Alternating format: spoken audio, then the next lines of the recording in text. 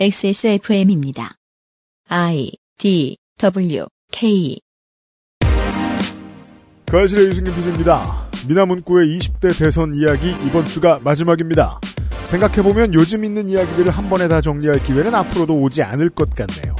22년 설 연휴 주간에 그것은 알기 싫다를 시작합니다.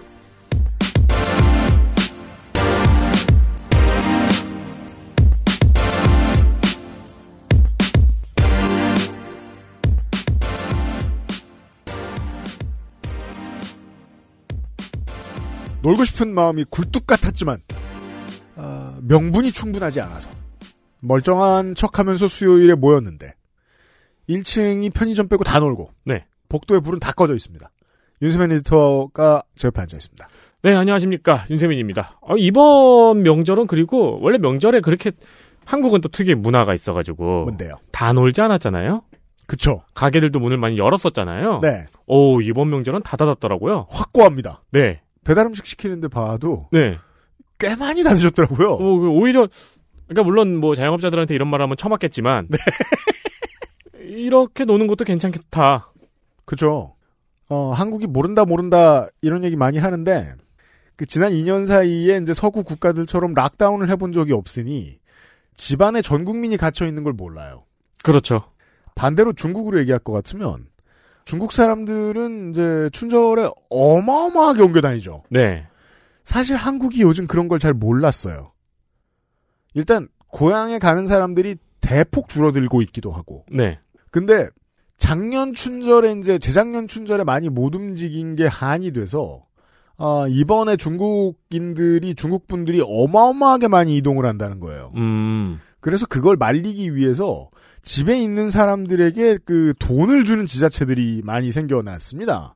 음. 올 중국에 네. 뭐 거의 뭐 한 천 위안까지 쏘는 지자체들도 있는 걸로 알고 있어요. 어. 개큰 돈입니다. 천연이면 얼마일까요? 위안이 비싸요. 네, 모두에게 위안이 되는 돈일까요? 꽤 위안이 되는 돈이에요. 네. 어, 18만 9,224원이네요. 네. 차비를 안 쓰고 차비만큼 오히려 벌어버리죠. 그렇죠. 근데도 제가 파악한 바로는 한 8천만 명 정도까지는 음. 고속철을 이용한 걸로 나와 있어요. 음. 그러면 뭐 저 국내 여객기하고 뭐 이런 거 다 합치면 장난 아니겠죠. 그렇겠죠. 예, 뭐 한 2억 정도의 인구가 옮겨 다녔을 거라고 생각할 수 있습니다. 서구권은 이제 백신을 가지고 그 돈을 지급하기도 하고 뭐 쿠폰을 주기도 하고 지역 상품권을 주기도 하고 중국도 그런 거 해요. 네. 한국 빼고는 다들 힘든 방역 과정을 거치는 대가로 사람들에게 뭔가 좋은 걸 주기도 하고 혹은 뭐 잡아들이기도 하고 가두기도 하고 한국은 그런 거 아무것도 안 하고도 성과가 가장 높잖아요. 음. 그 이유를 알기가 어렵습니다, 이제는. 왜냐하면 안에 있는 사람들은 안에 있는 사람들대로 불평불만 가득한데 어, 그렇죠. 힘든 것도 많고 화가 나는 것도 많은데 네. 근데 결과만 놓고 보면 제일 잘 지킨 사람들이 한국 사람들입니다. 음. 이상합니다. 이게 그래가지고, 오, 한국 사람들은 정부 말을 잘 들어라고 해석할 수가 없는 게, 그럴 안 그런 거 알잖아요, 우리. 그렇죠. 이 나라는 와- 대통령을 끌어내린 나라인데, 네. 그리고 지금도 끌어내고 싶어가지고 사- 그 승질난 사람들 많잖아요. 네. 네. 이런 몇 가지의 고민들이 있던 저 주간입니다, 전.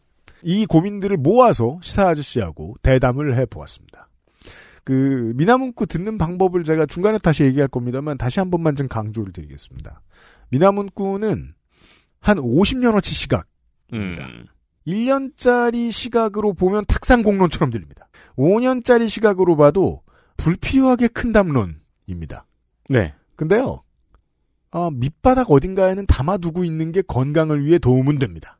그리고 모든 평론이라는 건 사실 선글라스를 고르는 일 같잖아요. 맞아요. 안경 네. 고르는 일 같아요. 네. 그래서 최대한 그 여러 가지 비전을 좀 다루고 싶습니다. 네. 네. 그러는 시간으로 꾸미도록 하겠습니다. 이번 주 평일. 평일이 아닌 분들이 더 많길 바랍니다. 그것은 알기 싫다는 이달의 PC로 만나는 컴스테이션, 관절 건강에 도움을 줄 수도 있는 QBN 관절 건강엔 MSM, 아름다운 재단 18, 18 어른 캠페인에서 도와드리고, 도와주고 있습니다. 뉴스 roundup 뒤에 시사 아저씨를 만나겠습니다. 아름다운 재단 다시 안 하셔도 되겠어요? 아름다운 재단 18 어른 캠페인에서 도와주고 있습니다. 이게 다 나가겠죠. XSFM입니다. 게임의 나이가 어디 있습니까? 사양이 문제일 따름이지요. 컴스테이션에 문의하십시오. 주식회사 컴스테이션. 뭔가 그곳을 떠난다는 게 되게 믿기지가 않았거든요. 반평생보다 더 많이 자랐는데 갑자기 떠나게 된다니까 믿기지도 않았고. 여러분의 독립은 몇 살이었나요? 보육원의 아이들은 만 18세가 되면 시설을 나와 홀로 살아가야 합니다. 어른이 되기는 아직 이른 나이. 곁에 아무도 없다면 그것은 자립이 아니라 고립입니다. 18. 홀로 어른이 되어야 하는 아이들을 위해 함께 해주세요. 아름다운 재단은 18 어른의 건강한 자립을 응원합니다. 아름다운 재단 18 어른 캠페인. 네, 2001년부터 보호종료 아동의 자립을 위해서 교육비, 주거비 사업을 해오고 있는 아름다운 재단입니다. 네. 보호종료 아동이라는 용어가 이제 바뀔 거라는 것도 저희가 전달을 드렸죠. 자립청년입니다. 네, 자립준비 청년. 18세가 되었다는 이유로 자립을 강요받는 아이들이 매해 2,500명, 본 캠페인은 아름다운 재단이 꾸준히 힘을 주며 열심히 하는 캠페인이고 이 캠페인의 성과를 저희가 전해드렸습니다. 어, 이 캠페인의 성과가 더 커지면 커질수록 나올 수 있는 결과를 예측해봤거든요. 자립준비 청년의 숫자 그리고 보호받는 아동의 숫자가 더 늘어날 거예요. 네. 그건 좋은 일입니다. 그렇습니다. 무조건 좋은 일입니다. 그렇습니다. 왜냐하면 가족은 여러 가지 파편화를 많이 거치기 때문에 보호가 필요한 그 국가의 보호가 필요한 아동은 분명히 더 늘 지금도 더 많을 거거든요. 네. 이거보다 더 많아야 됩니다. 사실 그리고 많아진다는 건 발굴이 된다는 거잖아요. 맞아요. 네. 네. 그러니까 그리고 보호의 영역을 넓히, 넓힐 수도 있고요. 네. 그리고 어 캠페인이 더 잘 돼서 효과가 좋다면 그 사람이 뭐 무슨 배경의 사람인지 알 수도 없겠죠. 그렇습니다. 알 필요도 없어지는 사회가 될 거고요. 어, 현재 자립준비 청년, 자립준비를 앞둔 후배들의 홀로서기를 위한 강연 활동 등 허진이 프로젝트가 진행 중입니다. 멘토 일을 하고 계세요. 그렇습니다. 이 캠페인의 가장 독특한 지점이 이거죠. 네. 이미 자립준비를 한 청년들이 나 와서 진행한다는 점. 자립 과정을 거쳐본 양반들이 중요한 프로젝트들을 직접 만들고 있습니다. 그렇습니다. 아름다운 재단의 지원 내용은 첫 번째는 학업 지원입니다. 네. 1인 연간 400만 원의 학비와 자기 개발 기회를 제공하고요. 음흠. 두 번째는 자립 역량 강화 및 지지 체계 형성 프로그램 지원입니다. 네. 그러니까 상담 모니터링과 멘토링을 진행한다는 이야기죠. 음. 그리고 비진학 보호 종료 아동 1인 연간 500만 원 재정 지원을 하고 있습니다. 네. 이 금액은 주거비와 자기개발비로 쓰이도록 하고 있고요. 음. 아름다운 재단에 지금 기부를 해 주시면은 어, 여러분의 지원이 몇 년 뒤에 정부가 할 일이 되는 거죠. 그렇습니다. 그동안 후원이 많이 되었기 때문에 들으시는 들으시는 청취자 여러분들이 많이 도와주셨기 때문에 국가도 그 메시지가 들린 거거든요.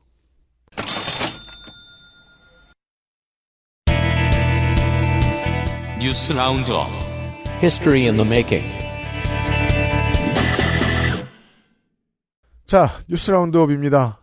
작년 여름에 핫했던 만큼 지금 더 핫해야 하는데 그러지 못해 아쉽습니다. 오늘의 첫 번째 소식. 민주노총 전국 택배노동조합 CJ 대한통운본부의 파업이 이어지는 가운데 노사가 합의점을 찾지 못하고 있습니다. 그렇다고 보도들 되고 있습니다. 문제는 오래전부터 말씀드린 사회적 합의 이행 여부인데요. 노조는 사측에서 사회적 합의 내용을 이행하지 않고 있다고 주장하고 있고 사측은 법에 따라 이행하고 있다고 주장하고 있습니다. 네, 법에 안 걸리는 정도까지만 해먹고 있다는 뜻입니다. 한편 국토부는 지난달 24일 사회적 합의 이행 여부에 따른 1차 현장 점검 결과 분류작업 전담 인력 고용, 기사가 분류작업을 할 시에는 별도 대가 지급, 고용, 산재보험 가입, 심야 배송 제한 등의 사항들이 이행되고 있다고 판단했습니다. 온건하게 보자면 이행되고 있다고 판단하는 것도 틀리지 않습니다만 잠시 후에 설명 더 드리죠. 같은 이유로 택배노조 우체국 군보 소속 택배 노동자들도 지난달 17일부터 무기한 단신 농성에 돌입했습니다. 우정사업본부에서는 계약 해지 내용 증명을 발송해서 업무 복귀를 통보했습니다. 직장 폐쇄로 윽박 지르는 거죠. 네. 중요한 건 CJ 대한통운이라서 CJ 대한통운으로 좀 설명을 드리겠습니다. CJ 그룹의 노무 담당 임원들 중에 매파와 비둘기파가 있다고 들었습니다. 개 중에 협상에 조금 유연한 비둘기파로 분류되는 인사들이 잘려나간 것으로 보입니다. 작년에 이 이야기를 마지막으로 말씀을 드릴 때 택배비 인상 뒤에 그 인상분을 사회적 합의에 따라서 어떻게 어떻게 처리해라라고 정부가 지침을 주어, 두었다 이런 말씀까지 드렸습니다. 현재까지 알려진 바 CJ 택배는 340원 안팎으로 올라갔습니다. 한 건당. 네. 원래 이 돈이 갈 곳은 처음에 합의할 때는 그 중에 분류 비용이 최소 150원, 사회보험료가 최소 20원 정도 가야 됩니다. 그래야 사회적 합의의 결정에 맞아 들어가는 수익 배분입니다. 돈 안 받는 분류 업무까지 과로를 하시다가 돌아가신 분들이 계시지, 않, 계시지 않겠습니까? 우리가 기억을 합니다. 네. 근데 실제로 대리점이 받은 내용을 이제 조사한 거를 보면 분류비는 58원대, 사회보험료는 18원대만 나갔다고 전해집니다. 이거를 곱해 봅시다. 만약에 대리점 한 곳이 1년에 움직이는 택배 물량이 100만 개쯤 된다, 이런 곳이 있다고 치죠. 어, 그러면 5,800만 원으로 분류를 해야 한다는 겁니다. 58원 곱하기 100만. 한두 사람 연봉으로 100만 개를 어떻게 분류합니까? 더 곱해 보겠습니다. 국토교통부가 내놓은 자료를, 자료를 보면 작년 한 해 한국의 택배 물량은 33억 7,818만 개랍니다. 33억을 다 곱할 필요도 없고 딱 1억만 곱해 보겠습니다. 1억 개의 택배라는 거예요. 원래 사회적 합의 제시안 중에 나머지가 회사에 돌아간다고 보면 340원 빼기 170원을 하면 됩니다. 340 빼기 170은 170원입니다. 170원 곱하기 1억은 170억입니다. 그런데 현재 주고 있는 돈은 한참 모자라니까 회사에게 돌아갈 돈은 커지, 커지겠죠? 음, 네. 따라와 주세요? 그게 76원입니다. 현재 주고 있는 돈이. 그러면 340 빼기 76은 264원입니다. 264원을 한 건당 CJ가 챙기고 있다라고 계산을 하면 264 곱하기 1억은 264억입니다. 170억이랑 264억의 차이가 되는 거예요.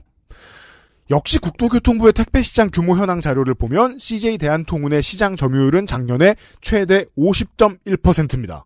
절대 1입니다. 그냥 절대 숫자 말고 복잡한 다른 계산 방법이 당연히 있겠지만 우리는 그래도 간단한 곱하기를 통해서 근사치는 예상할 수 있습니다. 33억 개의 택배가 우리나라를 왔다 갔다 하는데 그 중에 한 기업이 50%의 시장 점유율이래. 15억 정도만 여유 있게 계산해 보죠.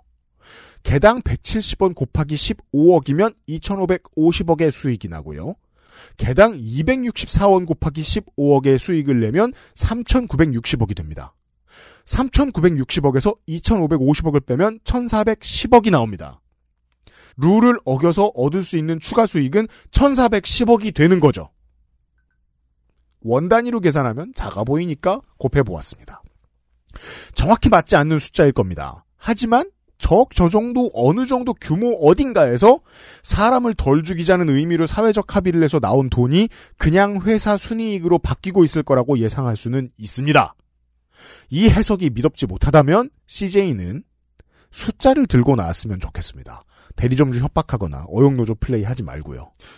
그러니까 지금 말씀드린 내용을 보통 디테일을 찾으려면 굉장히 어렵고요. 저희가 1년 가까이 이 택배 관련 사회적 합의 내용을 전해드렸는데, 네. 전에 저희가 전해드린 디테일을 메일노동 뉴스 빼고는 다른 곳에서는 찾아보기가 어렵고요. 네. 그리고 연휴 내내 논란이 됐던 영상 있죠. 음. 네, 그 택배를 집어 던지고 부수는 영상. 네, 사실은 굉장히 오래전의 영상이었다는 걸 누가 짜깁기 해서 뿌렸죠. 그렇습니다. 네, 택배 노조가 그거를 대응을 하기는 했는데, 최근에 파리바게트 저 빠바노조도 이런 봉변을 당하고 있죠. 던킨도너츠 노조도 네, 영상을 짜집기해서 다시 보여주는 방식을 종편이나 보수 언론이 택하고 있죠. 네, 어, 대응을 하긴 했는데 대응도 좀 미온적이기도 하고요. 네, 네, 그래서 뭐 지금 말씀드린 내용이라든가 이런 디테일 같은 거를 어떻게 더 잘 알려드릴까에 대한 고민이 좀 더 필요하지 않을까 싶습니다. 이것들 나중에 저 AI voiceware 가지고 그 노조 지회장들 목소리도 편집할 것 같아요. 그런 일이 곧 나올 것 같아요. 서울 강남 압구정동 신현대 아파트의 경비원들이 해고 철회를 요구하며 지난달 28일 집회를 열었습니다. 신현대 아파트라. 신현대 아파트에서 경비 영업 경비 용역업체를 바꾸는 과정에서 경비원 5명이 집단 해고되었고요. 네. 남은 경비원들도 두 달 단기 계약을 통보받았다고 합니다. 음. 경비원들은 지난달부터 근로기준법 준수와 휴게 공간 보장을 요구하자 자신들을 해고했다고 주장하고 있습니다. 신현대 아파트 얘기가 나와서 말인데 신현희 씨가 그 싱어게인에 나오시더라고요. 네. XX호 가수가 되셨더라고요. 어, 그렇죠. 아니 그렇게 떴는데? 저도 그게 되게 의아했어요. 야 독한 양반이구나. 저 사람은 성공했으면 좋겠다. 아직도 어디선가는 BGM으로 오빠야가 나오는데, 그니까 말이에요. 네. 예. 또 한편으로는 그 신현희 씨가 오빠야가 유명해지니까, 네. 그렇게 울림통이 큰 가수인지 모르는 사람이 많잖아요. 네. 근데 저희는 이제 요파시 공개 방송에서 봤잖아요. 그죠. 어, 그걸 사람들이 지금 알고 되게 놀래더라고요. 그니까 말이에요. 이 목 안에 드럼통 같은 게 있어요. 그 네. 예전에 저 스나이퍼 앨범 제목 되게 잘 지었다고 생각한 게 있었는데 그 제목은 영어였는데 네. 해석을 하면 아, 얼마나 간절히 원하는가였어요. 음. 그 겁나 간절히 원해도 잘 안 되는 일이 있습니다. 예를 들면 어, 신현대 아파트의 노동 문제입니다. 2014년에 경비원 고 이만수 씨가 갑질을 못 이기고 분신으로 돌아가신 아파트 갑질 사건이 있던 곳이 압구정 신현대입니다. 17년에 한 번 뉴스에 더 나옵니다. 서면 통지 없는 해고를 해서 신현대 아파트가 또 한 번 뜹니다. 네. 이번에도 돈으로 계산해 보겠습니다. 관리원 한 명으로 보면 휴게 시당 휴게 시간 수당을 요구한 게 한 달에 20만 원입니다. 정당한 대가고요. 다른 언론의 분석에 따르면 세대당 만 원 정도 부담하면 된다고 합니다. 만 원이 비쌀까요? 다른 돈을 제시해드리죠. 이 현재 이 아파트의 거래가는 30평형대는 30억대, 50평 후반대는 45억에서 60억대입니다. 이렇게만 설명드리죠. 국제뉴스. 스포티파이가 자사가 독점 공급하는 백신 관련 가짜뉴스 팟캐스트를 내리거나 아니면 자신의 음악을 내리라는 닐 영의 요구에 닐 영의 음악을 내리기로 결정했습니다. 닐 영이 누군지 아시는 중장년 청취자분들도 많으리라 생각합니다. 이게 이제 한 문장에 너무 많은 정보를 담아가 좀 헷갈리실 텐데요. 네. 팟캐스트가 있어요. 네. 코미디언 출신인 조 로건이 진행하는 팟캐스트인데요. 음. 코로나19 관련한 백신 가짜뉴스의 진원지로 많은 인기를 끌고 있습니다. 그렇습니다. 트럼프 까랍니다. 쉽게 말하면. 네, 요거를 스포티파이가 독점으로 계약을 맺고 공개를 하고 있어요. 큰 돈을 줬습니다. 조 로건에게. 네. 근데 이게 이제 백신 관련 가짜뉴스를 퍼뜨리고 있으니까 음. 닐 영은 스포티파이에 공개 서한을 보냅니다. 네. 조 로건의 팟캐스트를 내리거나 아니면 나의 음악을 내리라고 요구했습니다. 그렇죠. 근데 닐영 같은 가수가 지금 누가 들을까 생각하지만 닐 영급만 돼도 여전히 한 플랫폼당 한 플랫폼당 1억대의 저 view가 나옵니다. view가 아니고 뭐라고 해야 돼? 스트리밍이 나옵니다. 네.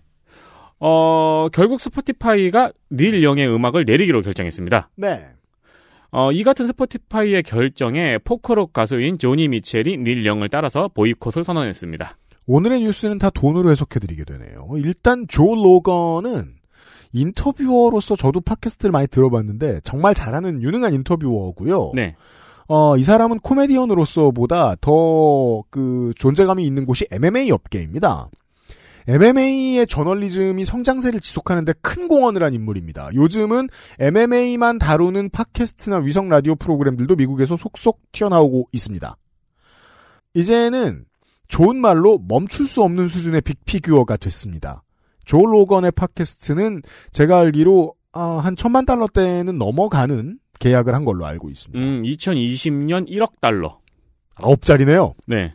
1200억 정도 하죠. 따라서 이 사람이 몸집을 키워나가는 동안 제대로 저지를 못한 MMA 관련 업계 전체의 책임이 일단 있고, 아, 이제 할 수 있는 조치는 돈 대 돈으로 싸우는 것밖에 없습니다. 그래서 닐령 같은 인물이 나섰던 겁니다. 네. 어, 음악 플랫폼에서 자기 노래 내리게 하는 아티스트가 있는데 그 사람이 닐령 정도면 개살벌한 수준입니다. 아까 말씀드린 대로. 스트리밍만 1억이 넘는다고요. 미국은 한국하고 다르게 팟캐스트 시장이 되게 큰데 아무리 그래도 국민가요 몇 개 있는 음악가랑 비교를 하기는 좀 어렵습니다. 여전히. 미국의 팟캐스트 업계가 종종 간과하는 게 있어요. 영어권 밖에서 자신들의 존재가 얼마나 하염없이 작아지는가. 이걸 음. 아직 잘 모릅니다. 네. 좀 부풀려진 돈이 오갑니다. 그래서. 뮤지션들의 입지가 영어권 밖에서 얼마나 큰가. 이것도 미국 내에서 잘 모르는 문제입니다. 저는 그래서 그렇게 비교를 했겠죠, 아마. 그래서 나가는 돈과 들어오는 돈의 차이가 어느 정도냐. 닐 영을 버려도 되겠느냐.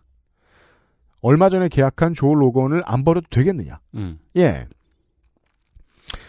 다만 이렇게 계산할 수 있죠. 닐 영과 조니 미첼 말고 몇 명의 아티스트가 몇 명만 더 이 움직임에 참여한다. 네. 그러면 스포티파이는 꼬리 내릴 거라고 봅니다. 예.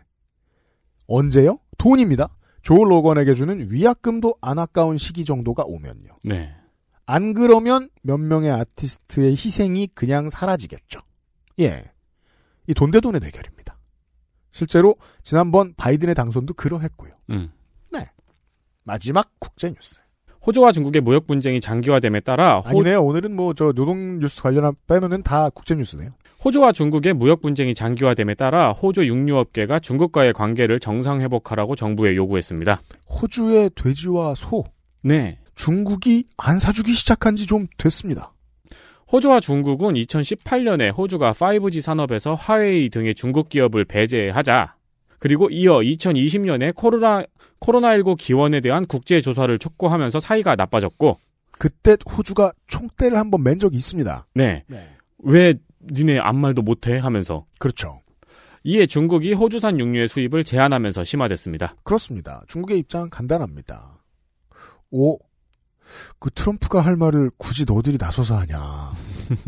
손해 줄 거 뭐, 손해 줄 게 뭐 없을까? 고기를 수입 안 하면 되겠구나. 네. 호주의 대중국 이 고기 수출 수익만 해도 뭐 한 3조 원대가 된다고 합니다. 음. 국가 경제에 엄청난 몫이죠. 그 정도면. 그렇죠. 호주 인구 뭐 얼마나 있다고. 어, 간단히 말해 트럼프 정책에 발맞춰 주다가 호주가 봉변을 당한 겁니다. 네. 예. 이게 말이에요. 중국하고 미국 사이에서 외교하고 무역하고 다 하다가 스텝 꼬이는 국가는 2010년대 한국뿐만이 아닙니다. 한국 정말 심각하게 겪었죠. 사드가 처음에 배치될 때. 중국에 수출 못하면 죽어나는 나라는 호주뿐만이 아니겠죠. 그럼요. 그리고 중국 물건이 수입이 안 되면 죽어나는 인도 같은 나라도 있습니다. 네. 뭐 인도 얘기 오늘 아닙니다만 친러와 친미 사이에 발걸치고 중국을 견제하는 도구로 쓰이는 아, 가장 큰 덩어리가 인도란 말이에요. 인도는 중국에서 수입 못 해오는 것들이 늘어나면 정말 큰일 납니다. 음. 어, 중국 스마트폰을 가장 많이 사주는 나라가 인도기도 하고요. 네. 인도와 중국 사이에 그 국경 분쟁이 있고 도끼가 등장했을 때 인도의 대도시에 그렇게 많이 깔려있던 화웨이 대리점이 간판을 다 내린 적이 있습니다. 어. 그리고 간판을 뭘로 바꿨는지 아세요? Made in India. 로 바꿨어요? 네. 그리고서 똑같은 화웨이 물건을 판 적이 있죠. 오, 신기하네요. 그랬는데도 내부에서는 이제 인도 내부에서는 이제 중국 물건 불매 운동이 일어났었었는데, 네. 네, 그랬기 때문이죠. 음. 아무튼 흔한 예들이 많습니다. 중국과 미국 사이에서 외교하는 게 얼마나 어려운 일인지를 설명하느니 그냥 앞으로 이런 사례들을 더 자주 소개시켜드릴까 합니다. 이거 되게 어려운 일이다라는 말씀을 드리고 싶은 거예요. 네. 웬만큼 유능하지 않으면 정치가 해결하기 어려운 문제다. 심지어 우리는 북한도 끼고 있는데. 자, 뉴스 중간에 의사소통을 좀 하겠습니다. 금주의 의사소통. 청취 후기 하나를 소개해드리죠. 조병철 씨가 XSFM25의 gmail.com으로 장문에 어, CCM에 대한 설명을 해주셨습니다. 네. 그 중에 일부입니다. 나성인 방송을 듣고 많은 후기가 있었는데 그 중에 하나예요. 90년대 CCM의 흐름은 크게 두 가지로 나눠볼 수 있습니다. 기타나 드럼 같은 악기만 사용해도 사탄의 음악이라고 정죄받고 한국 찬송가 공회 편찬 찬송가 600여 곡만이 600여 곡만을 교회에서 부를 수 있다는 편협함에서 벗어나 현대적인 악기 반주를 동반한 현대적인 음악 위에 오리지널 찬송가 또는 아주 정직한 기독교적 주제와 고백을 담은 교회 음악의 발전. 저는 이 발전을 겪었어요. 예전에 총각 때 그 집 근처 땡분 일레땡에 저 사장님이 음. 교회 엄청 열심히 다니시는 분이셨는데 네. 제가 술 먹고 집에 술 샀는데 에미넴 티셔츠 입고 있었거든요. 어, 그거 가지고 한 10분 연설을 하시던 게 생각이 나요. 뭐라고요? 뭐 사탄의 음악이래. 아, 아, 아. 참아드렸죠 뭐. 아니, 근데 에미넴이 아니고, 이제 교회에서 CCM, 음. 우리는 이제 복음성가라고 했었는데, 네. 이런 이제 기타나 드럼이 또 교회에 들어오는, 요거를 쟁취하기 위해서 청년들이 엄청 오랫동안 노력을 했었죠. 왜냐하면 제가 이제 그 계기 때문에 크리스찬 힙합을 많이 듣기 시작했었거든요. 나, 네. 네. 왜 굳이 그랬을까? 근데 음악이 괜찮았어요. 이런 음악의 흐름을 대표하는 단어가 바로 경배와 찬양입니다. 미국 기독교에서 그 원류를 찾을 수 있지요. 90년대 들어오면서 시작된 한국의 많은 경배와 찬양 운동은 먼저 미국의 Praise and Worship을 답습하면서 시작합니다. 마치 6, 70년대 한국 가요가 미국 팝송의 번안곡으로 시작한 것처럼 말이죠. 온누리교회에서 시작된 두란노 경배와 찬양이나 국제적인 기독교 단체인 예수전도단 YM의 한국 지부에서 시작한 예수전도단 찬양 모임 등에서 미국의 찬양 음악들의 번안곡을 대거 들여와서 경배와 찬양 집회를 열고 실황 앨범을 발매하는 것으로 소위 경배와 찬양 음악 시장이 열리기 시작한 것이지요. 미국에서 이 분야로 선구자적으로 잘 나가고 있던 대표적인 단체가 호산나 인테그리티라는 단체입니다. 사실상 한국의 경배와 찬양 집회는 이 인테그리티 뮤직의 앨범을 따라하는 것으로 시작되었다고 봐도 무방합니다. 한국의 경배와 찬양 초창기 앨범에 수록되는 곡의 90% 이상은 이 인테그리티 앨범 수록곡의 번안이었습니다. 인테그레이티 뮤직 브랜드로 90년대 말 몇 개의 앨범을 내며 알려진 단체가 바로 방송 중에 등장했던 힐송 교회입니다. 힐송 Church는 사람 이름이 아닙니다. 교회입니다. 그것도 지역 기반이 미국이 아니라 무려 호주에 있습니다. 기본적으로 오순절계, 우리로 치면 순복음교회 계열의 교회이고, 그래서 이 교회 지도자는 마치 조용기 목사의 삼박사 연구원, 삼박자 구원? 삼박자 구원이죠. 삼박자 구원과 유사한 번영신학이라는 걸 주장해서 논란이 있었다고 합니다. 어쨌든 이 교회가 처음에는 인테그레이티 뮤직과 연합해서 당시로서는 조금 더 현대적이고 독특한 경배와 찬양 앨범을 내다가 반응이 좋자 아예 독립해서 힐송 뮤직이라는 브랜드를 만들었고 몇 년이 지나자 인테그레이티 뮤직을 누르고 이 분야의 최강자로 등극합니다. 그래서 이쪽 분야에서는 가장 큰 브랜드가 되고요. 네, 이런 힐송 Church의 뉴스입니다. 네, 호주 힐송 교회의 창립자이자 대표 목사인 브라이언 휴스턴이 아버지의 아동 성학대를 은폐했다는 혐의로 기소를 당해서 이를 변호하기 위해서 교회와 관련된 모든 업무에서 물러나기로 했습니다. 한국 교회에서 보던 거랑 비슷해서 마음의 위안이 있습니다. 힐송 교회의 공동 창립자인 프랭크 휴스턴 목사, 그러니까 이 사람 아빠 목사예요. 1970년에 한 소년을 성적으로 학대했고 2014년 피해자의 신고로 알려진 이후 10명이 넘는 피해자가 추가로 나타났습니다. 저기도 아들한테 물려주네요. 같이 창립했대요. 어, 아버지 프랭크 목사는 99년 이 같은 사실을 아들에게 고백했고요. 아들 브라이언 휴스턴 목사는 2014년도 경찰 조사 당시에도 이 사실을 알고 있었다는 사실을 시인했습니다. 아버지 프랭크 목사는 2004년에 사망했습니다. 한국에 계신 분들께 위안이 되는 소식과 함께 뉴스 라운드였습니다. 영혼의 죽음, 환경의 저주, 육신의 질병이라는 사망이라는 삼중 형별에 갇힌 인간을 그 뭐야? 어, 삼중 축복의 묘 삼박자 구원을 찾아보고 있어요. 아 그래요? 네. 우리 지금 길 건너에 보이는데 저 교회. 어, 그쵸. 메시지는 처음 보네요. XSFM입니다. 정려원의 스타일 팁. 음? 패션 말고요. 이건 건강 스타일. 가장 본연의 것에 집중했습니다. 기본에서 답을 찾다. 새로운 건강기능식품. 건강 스타일엔 튜비엔. 본 광고는 건강기능식품 광고입니다. 병풀 추출물 70%, 비오틴, 판테놀 4가지 과일 추출물. 이 모든 걸 하나로 빅그린 시카 샴푸. Big Green 중건성용 탈모 샴푸 빅그린 시카 내장 그래픽을 갖춘 안정적인 CPU, GPU의 가장 적절한 메인보드. 하드디스크만 써본 분들은 상상조차 하기 힘든 속도의 M.2 SSD. 기능성과 디자인을 모두 충족하는 케이스까지 이달의 PC로 빠르게 구매하실 수 있습니다. 010-8279-5568 원하시는 다른 어떤 사양도 대처할 수 있는 컴스테이션에 문의하셔도 좋습니다. 주식회사 컴스테이션.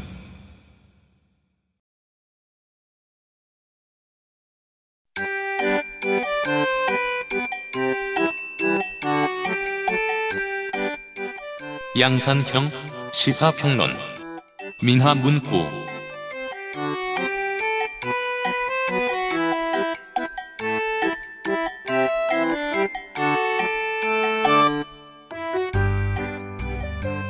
대선 전에 마지막으로 시사 아저씨를 만났습니다. 시사 아저씨의 새 책이 나왔습니다. 시사 아저씨도 나왔습니다. 어서 오십시오. 안녕하십니까. 책이 잘 안 팔린다고 방금 말했습니다. 녹음 전에. 팔릴 수가 없는 제목이에요. 제목이 그냥 길어서 그럴 거예요. 제 생각에는. 그냥 뭐 냉소사회 이렇게 했으면은 더 팔렸을 수도 있, 냉소사회 2. 아니, 그러면 그렇게 얘기하려면은 냉소사회가 잘 팔렸어야 되잖아요, 그러면. 그게 아니잖아요, 지금. 나한테 뭐라 그래. 아니, 뭐 예를 들면 그렇다는 거죠. 네. 어, 시사 아저씨의 책은 그렇게 많이 팔리지 않고 있는 것으로 알고 있습니다. 책을, 책이 여러분이 생각하는 그런 내용이 아니에요. 다 여기서 떠들었던 내용들입니다, 사실. 그, 이제, 제가 이제, 어, 본바에 따르면, 그, 뭐랄까요. 아, 몇 가지는, 저, 미나문구에 나옵니다. 그리고 기본적으로, 그냥 문장으로 이렇게 말한 적이 있습니다. 네. 네. 어, 저쪽이 싫어서 투표하는 거다. 네. 네. 아, 김민아의 신간이 전국 서점에 깔려 있습니다. 저쪽이 싫어서 투표하는 민주주의입니다. 네. 그리고 이제 저쪽이 싫어서 투표하는 사람들을 욕하거나, 네. 뭐 이렇게 살지 말자거나, 음. 뭐, 뭐, 음? 뭐 앞으로 아주 긍정적으로 우리가 투표를 하자거나 그런 내용이 아닙니다. 음. 그러고 있는데 네. 어, 왜 그렇게 되는 거냐 우리가 굳이 난 반드시 꼭 저쪽을 반대하는 의미로 투표해야지 그렇게 처음부터 맘먹고 태어난 것도 아닌데 왜 이렇게 된 거냐. 네. 그리고 혹시라도 아 그렇게 안 될 시스템이 있다면은 그거는 뭘까? 음. 그냥 이런 얘기니까 네. 너무 그 부담 갖고 생각하지 마시고요. 그니까요. 네, 그 제목 제목과 그 다음에 저의 이력을 보고 아 이것도 뻔한 얘기한다 생각하실 수 있는데 음. 뭐 뻔한 얘기입니다. 뻔한 얘기지만 네, 근데 그렇게까지는 아니다. 네, 그리고 대선 때라 가지고 뭐 그냥 또 이런저런 거 글을 묶어서 냈구나 아닙니다. 네, 처음부터 다 쓴 거고 음. 7월 달에 작년 7월 달에 그 끝냈는데 네. 출판사 사정상 인제 나온 거지 뭐 음. 네, 그런 어, 알량한 기분으로 쓴 책은 아니에요. 결과물이 여러분의 뭐 이런 기대나 마음에 못 미칠 수는 있어도 그런 가벼운 마음을 쓴 갖고 쓴 건 아니기 때문에 네. 혹시 이제 아, 책을 내가 사봐야겠다. 네, 이런 마음이 들지만 아 근데 돈 낭비일 것 같다 이런 생각 하시는 분들이 있다면 돈 낭비일 수 있습니다. 하지만 네, 그렇게까지는 아니다. 핵심은 그렇게까지는 아니다. 네. 듣는 사람 불안하게 중언부언해요. 자신감을 가지지. 네, 그렇게까지는 아니다. 네, 이걸 꼭 알아두십시오. 그렇게까지 돈 낭비는 아닌 김민아의 신간을 여기저기서 구해보실 수 있습니다. 네. 대선 이전에 마지막으로 민어 문구를 시작할 시간입니다. 오명하며 시사 교양국의 이 방송 노동자들을 좀 만나고 다녔어요. 그냥 뭐 이제 진행자로서 네. 조언을 좀 듣고자 어, 네. 돌아다녔는데 네. 그 중에 한 분이 하신 말씀이 상당히 인상적이었습니다. 네. 여임씨님은 성질 죽이는 척을 하시라. 음.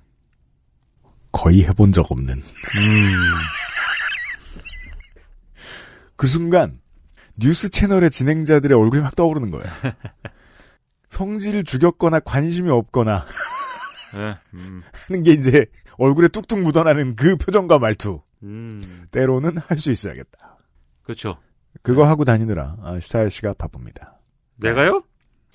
아니 근데 진행자 중에는 진짜 시사 방송이거든요. 네. 근데 별로 시사에 관심 없는 진행자가 있어요. 어, 저도 덜 알죠. 네. 방송 진행자인데. 네. 예를 들면 저도 있고요. 저는 요즘 뭐 기계식 키보드나 보지. 네. 야 기계식 키보드. 야. 아 지난달 카드값 나와가지고 이거 왜 이러나 했더니 네. 다 스위치로 나간 거예요 돈이 제 야, 돈이. 지금 custom 키보드 3개 들어간 거예요? 아 조금 들어가 있습니다. 아, 네, 무섭습니다. 시간이 마지막으로 있을 때 키보드를 계속 풀었다 묶었다 풀었다 묶었다 아유, 하고 있어요. 네, 무서운 세계예요, 그것도. 네, 조심해야 됩니다. 네. 네. 키보드를 만지는 일은 되게 뜨개질하고 비슷합니다. 시간이 많이 필요해요. 단순 작업을 계속 반복하기 때문에. 네. 그때 계속 방송을 들어요? 음, 화가 납니다. 그죠. 왜냐면 전 내용이 화가 난다기보다 음, 다 들었던 얘기라니까. 그쵸. 네. 아예 담쌓아 놓으신 분들을 위해서 어떤 분들은 많이 듣는 얘기를 한꺼번에 정리를 해보겠습니다. 하지만 지난번처럼 더 시시콜콜하지도 않을 것입니다. 대선 얘기 마지막 시간입니다. 네, 대선 얘기다. 어, 또 지난- 대본 첫 줄이 자기 책 얘기네. 어, 아니, previously. 네, 네. 그렇죠. 지난 시간 김민하와 함께 있을 때는요. 네. 선거는 현 정권에 대한 반대, 상대 정파에 대한 반대, 특정 이념과 사상에 대한 반대, 이런 음. 반대로 우리 편을 조직하는 게임으로 지금 치러지고 있다. 이런 그렇습니다. 말씀을, 네, 이 대선 시리즈 처음에 이제 했어요. 뭘 반대할까를 정치인과 컨설턴트들도 1번으로 고민을 하는 것이 생리처럼 느껴집니다. 네. 예를 들면 어 97년 대선에서는요. 누가 더 김영삼과 반대되는 사람인가를 가지고 어 생서 뭐냐 선전 경쟁을 벌였습니다. 그게 지금 생각해 보면 말이 안 되는 얘기 같잖아요. 이회창은 김영삼 내당의 후보인데 김대중이 저쪽 당 후보인데 여당의 이회창 후보는 어, 김대중은 YS와 판박이다. 음. YS의 평생 정치 파트너다. 나라를 똑같이 말아먹을 것이다. 어, YS가 했던 모든 걸 뒤집을 수 있는 건 이회창이다. 라는 방식으로 광고를 했습니다. 불태웠어요, 김영삼을. 반대쪽의 광고도 똑같았습니다. 그동안 해먹던 걸 계속 그대로 두었더니 김영삼까지 들어갔고 거기에서 완전히 길을 다르게 갔던 김대중만이 답이다. 왜? 김영삼의 반대니까. 둘 다 서로 김영삼의 반대가 자기라고 주장했습니다. 왜? 당시에는 어, 전임 대통령, 그러니까 곧 물러날 대통령의 레임덕이 끝도 없이 진행되던 때였기 때문입니다. 지금처럼 40% 그런 소리 할 수 없었거든요. 그 제가 왜 저 20년 아니구나. 25년 전 얘기를 드리냐면 지난 25년간 제가 기억하고 있는 대선 캠페인이라는 게 다 비슷했기 때문입니다. 반대가 제일 크게 들렸습니다. 왜냐하면 제일 시끄러운 지지자들이 거기에 빨리 빠르게 결집하기 때문에 어, 정치인들이나 컨설턴트들도 효과를 더 직방으로 잘 느껴서 그런 걸 수도 있겠죠. 처음부터 그랬어요. 근데 세상이. 네. 근데 그런 선거를 하고 있다. 음. 그 이제 문재인 정권은 어쨌든 진보라, 우린 진보다 이렇게 한 거 아니에요. 음. 우리 리얼 진보, 오리지널 진보들은 어, 문재인 정권은 진보인가? 아니라고 우깁니다, 우리는. 하지만 뭐그뭔 소용입니까? 그냥 여러분들이 진보다 이렇게 하면 진보지. 87세대가 생각하는 진보와 그리고 그, 그 뒤에 세대가 생각하는 진보의 금이 있죠. 네. 그게 진보. 없어진 줄 착각했었습니다. 2010년대 중반에. 다시 진해졌고요. 네, 진보고 근데 이 진보라는 게 어쨌든 대의 명분에 따라서 하는 거잖아요. 우리가 어떻게 살아야 된다. 이런 방향으로 우리 사회가 움직여야 된다. 그 방향은 어쨌든 더 어려운 사람들, 그다음에 더 자기 몫을 가지지 않은 사람들을 어, 좀 더 이제 자기 자리를 찾아주는 그러한 방향으로 변해야 된다. 뭐 이런 게 진보 아닙니까? 네. 근데 이제 그런 게 정확히 어, 이 문재인 정권을 지내면서 그러한 이제 방향의 어떤 기대랄까 이런 것들이 사람들의 어떤 그런 바람이라는 게 그런 방향이 아니라는 게 드러났어요. 그래서 손익관계, 이익, 에, 이런 실용주의, 이런 반대에 지금 진보가 포위되어 있는 국면입니다. 지난 4년간 꾸준히 작업이 되어 왔습니다. 아주 정교하게. 예, 그, 그게 이제 지금 정권에 대한 반대라는 거예요. 음. 그리고 이 조건을 누가 어떤 방식으로 활용해가지고 효과적으로 고지를 점하느냐. 예, 이게 관건이다. 네. 예, 지금 선거의 게임이라는 것은. 음.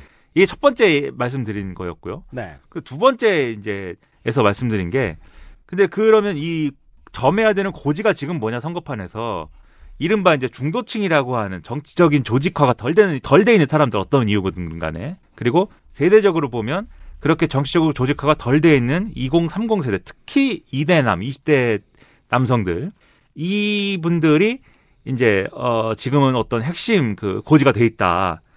이분들을 이제 이분들의 지지를 획득하기 위해서 후보와 세력들이 어떤 두뇌 싸움을 지금 하고 있느냐. 음. 네, 이런 거를 말씀을 드렸고요. 음. 그리고 특히 이재명 후보 입장에서는 대장동 의혹이 갖고 온 이제 양쪽에서의 위축이 있다. 네. 그게 이제 원래 이재명 후보가 가지고 있던 중도 진출의 어떤 용이성 그리고 이 이슈에서의 약간 이, 이 사람은 진보적인 것 같아, 좌파인 것 같아, 뭐 이런 이미지 그 두 개가 같이 있어가지고 양쪽으로 크게 이제 자기 확장력을 가질 수 있었는데 민주당 내 호남계나 온건 세력들도 그 이재명 당시 성남시장, 당시 도지사에 대해서 경기도지사에 대해서 그쪽 색깔을 씌우려 애를 쓰기도 했었죠.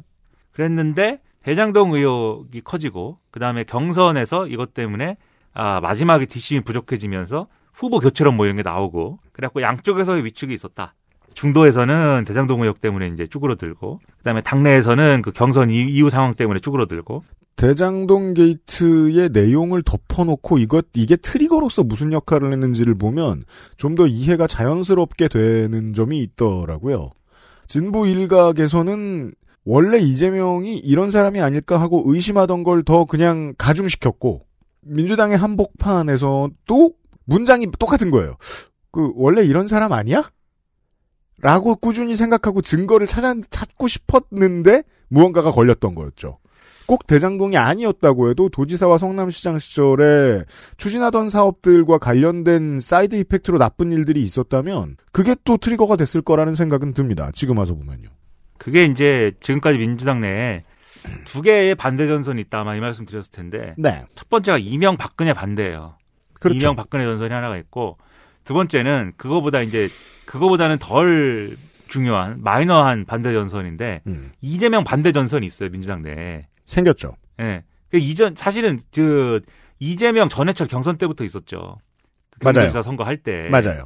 근데 그게 이제 있었는데 그게 굵어지면서 몇 년 정도랄까요? 한 15년 정도를 꾸준히 가던 이 민주당 내에 노무현 반대 전선이 그 싸움이 흐릿해집니다. 그러니까 그 두 개의 반대 전선이 있었는데 네. 그 동안은 이제 이낙연 전 대표가 원래는 유력한 대권 주자였는데 네. 그 연초에 이제 지- 작년 연초에 사면론 꺼내면서 그 이제 지지율이 이제 하락하잖아요. 네. 그러면서 이명 박근혜 전선을 어, 이 이명 박근혜 전선이 강화됐고 맞아요. 이재명 반대 전선이 힘해졌어요. 그래가지고 물론 그 이전부터 이제 이재명 당시 지사의 캐릭터나 이런 것들이 좀 아, 여러모로 이게 당내 경선에서의 상대가 없- 상대들이 이제 사실상 이낙연 전 대표밖에 안 남은 그런 상황이었고 네. 유력 대권주자 하나가 되면서 이명 박근혜 전선에서 이명 박근혜 후예들을 이길 수 있는 카드다 이런 것들이 이제 커지면서 이 이명박 반대 전선이 희미해진 거거든요. 그렇죠. 그 마찬가지 상황이 이낙연 전 대표 지지가 음. 이제 좀 붕괴하면서 그게 더 강해졌는데 마치 저 친박과 반박이 한동안 오랫동안 아 아니죠. 친박과 비박이 오랫동안 겨루었고 그 흔적이 아직까지 국민의힘에 남아 있듯이 말입니다. 그다가 희미해졌는데 그게 이제 이명 박근혜 전선 이, 이재명 반대 전선을 누른 거죠 결국 네. 이명 박근혜 후예들이 이길 수 있기 때문에 이재명 반대는 좀 제쳐놓자 게다가 컨설턴트들이 이제 저 시사 아저씨를 비롯하지 않은 아, 많은 패널들이 이제 쉽게 얘기하는 것들이 있어요. 이제 오리엔트냐 어퍼짓이냐의 싸움에서 봤을 때 이재명과 이낙연의 싸움은 이재명 대 반 이재명의 싸움이 컸습니다. 민주당 내에서는요. 그랬는데 이제 대장동 의혹이라든지 음. 이재명 후보와 관련된 여러 가지 이런 의혹들 있지 않습니까? 네. 그런 것들이 이재명 반대 전선을 강화하는 거예요, 또. 그렇죠. 그래서 이 두 가지 전선이 어쨌든 나름대로 이 갈등 관계 있기 때문에 그 전선을 강화시키기로 마음을 먹었고 계속 글로만 갔기 때문에 그래서 이제 양쪽에서 위축이 그래서 있었던 거다. 음. 그래서 이재명 후보가 이 상황을 뚫기 위해서 뭘 해야 되는가 이런 것들에 대해서 지난번에 이제 좀 얘기를 좀 했습니다. 맞습니다. 이게 이게 previously 예. 어, 이 뭐냐 이게? 네. 네. 이 뭐죠 이게? 김민아가 온 하는 게? 미나문구. 예, 미나문구였다. 그래서 이제 그때도 안 보이던 게 지금 보이는 점들 중에 하나가 제가 아까 말씀드렸던 아 이재명 대 이낙연의 싸움이라기보다는 이재명 대 반이재명의 싸움 같았다는 것 하나 그리고 이낙연 전 총리는 총리 당시 시절부터 어, 마이크로 행정가로서 가치를 높이 평가받았습니다. 마이크로가 좋은 플레이어라는 건데 에, 매크로가 떨어졌다는 게 나중에 좀 많이 증거가 이제는 나오는 거죠. 사면론도 혹은 PCR 검사 이전의 자가 테스트, 자가 진단도 결국 다 실현이 됐는데 타이밍이 잘못됐다는 걸 이제는 알게 됐죠. 둘 다 지금 하잖아요? 했잖아요? 근데 그 이제 코로나 얘기로 가면은 그거 이제 어려운 얘기입니다. 네. 지금 오미크론 변이가 왔기 때문에 달, 그니까요. 네. 상황이 달라졌고. 그렇죠. 네. 그러니까 이른바 이제 3T를 이제 포기할 수밖에 없는 국면이 온 거예요. 네. 어, 그렇기 때문에 이 기존의 이제 3T 모델로는 오미크론 변이에 대응을 못하기 때문에 3T에서 일부를 포기하고 어, 이 포기했기 때문에 사실은 신속 항원 검사를 좀 더 이제 폭넓게 사용할 수 있게 된 거죠. 예를 네. 들어 뭐 지금 저 북유럽에서 그래 지금 사회의 피곤함을 그냥 감수하느니 어 하루에 10명이 죽는 쪽을 택하자. 네. 그래서 이제 방역을 완전히 내려놓는 선택을 했다는 게 요즘 보수 언론에서 대서특필하고 있는데 이게 결국 숫자의 문제, 비율의 문제인 것이 한국도 자가 진단을 선택하면서 그래 다들 너무 힘드니까 이 방역 저 다- 방역 노동자들 노동권도 있고 하니까 하루에 몇 명 정도의 위험을 감수하자 정도의 선택을 하게 된 거거든요. 그러니까 오미크론 변이가 중증화율이 낮기 때문에 상대적으로 맞습니다. 그리고 백신 접종률이 상당히 이제 아, 2차 접종까지 따지면 한 80% 넘어가기 때문에 네. 그렇기 때문에 지금 할 수 있게 된 거죠. 그러니까 맞습니다. 이거를 이제 제가 이거 웃기다고 생각하는 게 뭐냐면 이걸 했더니 오세훈이 갑자기 나와가지고 언론에 오세훈 시장. 예, 내가 결국 이렇게 될 줄 알았어. 분노하지 않은 이렇게, 척해. 이렇게 얘기하잖아요. 근데 오세훈 시장이 처음 얘기했던 아니 오미크론을 누가 알았다 그래. 아니 오세훈 시장이 처음 얘기했던 뭐 노래방 가는데 대기하고 있는 분들에게 이걸 테스트를 하자. 그게 말이 안 되는 게 이 지금도 이제 신속항원 검사 신, 이 자가진단 키트는 어, 이 진단율이 낮단 말이에요 어쨌든 네. 진단율이 낮은데 그거를 예를 들면은 그때는 이제 3T 전략을 다 완벽하게 해내는 게 목표였으니까 음. 제한돼 있는 예를 들면 요양병원에 똑같은 사람들에게 똑같은 방식으로 계속 이제 검사를 해가지고 네. 이 10%밖에 안 되는 예를 들면 이 아, 진단율을 음. 10번 해가지고 보충할 수 있는 거 아니야? 똑같은 사람들에게 똑같은 대상으로 매일매일 해가지고 그렇죠. 주기적으로 해가지고 네. 이런 용도로는 쓰라고 했어요 그때도. 그러니까 자가진단의 불안함을 어느 정도까지는 보완할 수 있는 보완책이 지금은 있어요. 근데 오세훈 서울시장이 작년에 했던 얘기는 그거랑 완전히 다르거든요. 그러니까 그때도 그런 방식으로 허가했어요. 근데 아무 데서나 아무 때나 자가진단 키트를 해가지고 이제 이게 양성음상 판정할, 판정할 수는 없다라는 거였고. 그러니까 애니타임 애니웨어는 아니에요. 지금도. 지금은 뭐냐면 지금은 완벽하게 확진자를 다 찾아내는 다 찾아내고 다 추적하고 다 치료하고 이것은 첫 번째 이제는 오미크론 변이가 와서 확산력이 너무 크기 때문에 불가능하고 두 번째는 감염을 시켰을 때 사람이 위험해지는 경우의 숫자가 줄어들었기 때문에 그렇게까지 안 해도 된다. 음. 네. 그러니까 현실적으로 불가능하고 그리고 현실적으로 불필요하다. 그쵸. 그렇기 때문에 아, 3T를 포기하는 대신에 이낙연 총리 얘기하다 여기까지 왔네. 네, 네, 그래요, 대신에 그래요, 이제 그래요. 음, 좋아요. 아, 이제 이 얘기만 열받아서 그래요. 지금 언론이 그런 것 같아. 언론이 무슨 뭘 뭐 하는 거예요 지금 도대체. 그래서 아무튼 뭐 예. 김민아 보통 제 앞에서 언론 가지고 화 안 내는데 제가 다 하니까 예, 왜 이렇게 화가 아니 났어? 그걸 뭐 다 취재들 취재를 다 해왔잖아요 코로나19에 대해서 기사 다 써왔잖아요. 근데 어느 날 갑자기 왜 그렇게 쓰는 거야? 난 아, 희한한 사람들이야 하여튼 그 오미크론 변이가 뭔지도 모르고 모르고 그러니까 아무튼 뭐 그렇게 해가지고 뭐 지금은 상황이 달라졌기 때문에 그런 게 가능해졌는데 갑자기 오세훈이 등장해서 내가 이렇게 될 줄 알았고 내가 선견지명이 있었던 것처럼 얘기를 하는 거에 대해서 그 코로나19 초기에 한 번, 델타 변이 때 한 번, 오미크론 변이 때 한 번, 언론이 이 질병을 대하고 사람들에게 public announcement를 하는 태도를 한 번씩 확, 확, 확 바꿨어야 됐거든요? 근데 은근히 느려요. 네, 아무튼 뭐 예, 그점 때문에 답답한 점들이 꽤 많아요. 아무튼 뭐 의사들이 저는 의사들을 별로 안 좋아하지만 네, 의사들이 또 그렇게까지 바보는 아니다. 네, 그 그리고 이거. 저 시간 지나면은 다시 한번 이거 언론이 저 평가받아야 하는 지점 중에 하나가 저는 요게 좀 열받는데 인천을 제외하고 수도권 두 지자체의 방역 관리 능력은 도마 위에 크게 올라야 된다고 생각합니다. 대구가 당했던 걸 생각하면 억울해서 단순히 그런 게 아니라 재밌죠. 수도권 수도권 중심주의의 사회인데 수도권 중심으로 얘기를 늘 하다 보니까 중심에 있는 수도권이 논의에서 벗어나 있는 그런 느낌이랄까요? 델타 변이 이전까지만 해도 지도를 펴놓고 어디가 확진이 많이 되었는가를 늘 얘기하다가 수도권이 압도적이 되는 순간부터 그 이야기가 쏙 사라졌습니다. 수도권 방역의 실패는 어떤 지점이 있는가? 수도권 방역 실패라는 단어도 저는 들어본 적이 없어요. 그 지점에 대해서는 생각해 볼 법합니다. 이게 다른 지역의 언론사에서는 이야기를 또 하고 있는 이야기이기도 합니다. 이것도 나중에 얘기하고요. 상관없는 얘기 다 길었다. 무슨 뭐 무슨 뭐 정치 방역을 해갖고 뭐 과학을 무시했고 뭐 윤석열 후보 나와가지고 뭐 과- 앞으로는 과학적인 방역을 해야 되고 아 피곤해 죽겠습니다 진짜 정부가 방역을 잘했고 잘못했고 얘기는 할 수 있는데 뭐 당연히 뭐 100% 100점짜리 했겠습니까? 100% 했겠어요? 그러지 않았겠죠. 뭐 잘못한 게 있겠죠. 근데 그게 정치 방역을 해서라 해서다 라고 얘기하는 게 이제 사람들 진짜 너무하다 싶은데 다들 뭐 안철수 후보도 그렇게 얘기하고 뭐 다 그렇게 얘기해요. 정치 방역을 했대요. 내가 이 정부의 그런 열렬한 지지자도 아닌데 왜 내가 시사할 그게 아니죠. 이렇게까지 열받아야 되나 나는 참 아무튼 답답합니다. 그러니까 시사 씨의 책을 보시면 돼요. 현 정권에 대해 반대할 수 있다면 무슨 말이든 만들어내긴 합니다. 예, 아무튼 뭐 그런 그런 얘기를 했는데 어 그래가지고 어 뭐 지난번 얘기까지가 그랬고요. 최근에 이제 나오는 그 요 이후에 이제 할 수 있는 얘기가 최근에 언론이 한탄하는 문제가 있어요. 후보들의 공약이 다 비슷해지고 있다. 거기에 대해서도 저도 할 말이 많지만 오늘은 오늘과 내일은 제가 화를 안 내기로 마음을 먹기 때문에 예, 그래서 조용히 있겠다. 이름을 가리면 이 공약 누구 건지 모른다 이런 얘기도 나오고. 아이 승질나. 못 참겠어. 아니 왜냐면 이쯤 되면 예. 매번 대선에 나오는 얘기긴 하거든요. 다만 짚을 게 없진 않습니다. 그래가지고 예를 들면은 이제 코로나19 대응에 대해서 정부가 이제 추경 규모를 14조를 결정을 했습니다. 음. 이것도 이례적인 일이죠. 본 예산이 이제 집행된 첫 달에 이게 사실 기억이 안 나요. 그냥 유권자들은 정치에 크, 크나큰 관심이 있어도 이거 기억 잘 못해요. 하지만 이건 분명합니다.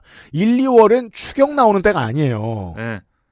정권이 바뀌었는데 전 정부가 뭐 큰 잘못을 했다. 그럼 2월 달, 3월 달에 뭐 추경을 하는 경우는 있었어요. 10월 아, 달에 네네네. 10월 달에 선거했을 때 전 정권이 뭐 크게 예산 뭔가 잘못했다. 그건 보통 정권이 바뀌었을 때, 대선 네. 때. 근데 14조를 그냥 결정을 했고, 근데 이것도 이제 코로나 상황이 아, 그동안 이제 좀 불확실했기 때문에 어쨌든 오미크론 변이가 이렇게 와가지고 이렇게 될지 몰랐으니까 음. 어쨌든 14조를 결정을 했는데 국민의힘이 여기에 대해서 아 14조 갖고 되겠냐 35조 하자 이렇게 얘기를 했어요. 우리 추경 반대한 적 없다. 네, 근데 이재명 후보가 또 그래 그럼 35조 하자. 근데 국민의힘이 얘기하는 거는 재원은 재원 어떻게 마련하느냐? 네. 지금 이제 예산에서 예산을 구조 조정해가지고 음. 아끼고 아끼고 아껴가지고 음. 35조를 한번 짜내보자. 네. 근데 이제 이재명 후보는 그게 불가능하다. 음. 그건 불가능하고 35조를 그냥 이제 추경을 편성을 하되 차기 정부의 정책 담당자들이 재원에 대해서는 그런 마련하기로 하자. 그러니까 35조는 쓰는데 음. 선거에서 이긴 놈이 결정하자. 그럼 어디서 이 35조 갖고 오는지 음. 이렇게 얘기를 해가지고 그 얘기를 하면서 이걸 합의를 해야 되지 않느냐 한번 만나자 이랬어요. 네. 근데 이제 뭐 윤석열 후보 왜 내가 왜 만나냐 이래갖고 뭐 싫다고 그러고. 그렇죠. 근데 뭐 아무튼간에 뭐 35조라는 숫자는 또 똑같아진 거잖아요. 음. 35조 해야 된다. 이런 게 똑같고. 그 다음에 언론이 이제 비교 분석한 내용 중에 이런 부분이 있습니다. 부동산 문제를 공급 위주로 풀겠다. 이런 것도 거의 이제 유사하다. 그래서 서울 재건축 아파트의 용적률은 최대 500%다. 500%는 어떻게 됩니까? 아파트가? 신나죠? 네. 그 하늘 끝까지 올라갑니다. 네, 저층은 햇볕이 안 들어요. 네. 지금도 많은 고층 아파트들이 그렇습니다. 네, 햇볕이 안 들어요. 얼어 죽습니다, 저층에서. 어, 로얄층, 로얄층 하는데 로얄층은 개판입니다, 보통. 네. 해가 안 드니까. 네. 네. 그래가지고 이게 500%가 맞냐. 그러니까 이게, 그, 저, 그래서 시사일 씨가 먼저 한 얘기가 중요한데요. 핵심 타겟이 비슷하다는 점을 봐야 되는데, 아파트 이야기가 공약으로 처음에 등장하면 집 없는 사람보다는 집을 이미 가지고 있는 사람들이 훨씬 더 많이 귀, 그니까 그 감각이 띈 채로 그 공약을 듣는다는 점을 아는 거예요. 그래서 핵심 타겟이 같아지죠. 이때는 외면당하는 유권자들이 생겨납니다. 이 문제가 그다지 중요하지 않은 사람들. 그리고 이제 부동산 가격을 안정시켜야 된다. 결국은 이게 목표잖아요. 네. 그러면은 이제 그동안 이제 이 정권이 했던 것은 뭐 예를 들면은 대출 규제를 강화한다든지 그다음에 뭐 다주택자들이 집을 내놓게 하기 위해서 이제 다주택 다주택자들은 세부담을 늘린다든지 뭐 이런 거였는데 그런 게 결과적으로 어쨌든 소용없다라고 사람들이 평가하는 거지 않습니까? 그러면 이제 아, 그 사람들이 그렇게 평가하면 대안이 뭐 있습니까라고 얘기하면 부동 자칭 부동산 전문가라는 사람들이 공부를 늘렸어야 됩니다. 이렇게 얘기하거든요. 음. 왜냐하면 시장이라는 건 수요 공급이기 때문에 음. 사람들이 집을 너무 사고 싶은데 음. 예? 시장에 집이라는 상품이 없어가지고 다들 가격이 오르는 거 아니냐. 네. 그러니까 빨리 당연히 상품을 막 늘려가지고 공급을 막 위주로 막 집을 막 갖다 지면은 음. 사람들이 살 수 있는 집이 많이 늘어나가지고 네. 어 그러면 가격이 안정되지 않겠느냐.